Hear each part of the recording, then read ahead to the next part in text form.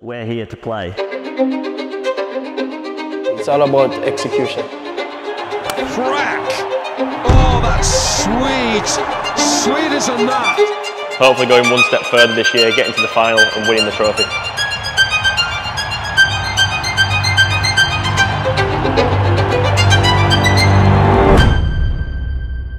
We sit with chat crickets, try to come up with strategies and try to get everyone to work towards a plan and make it work.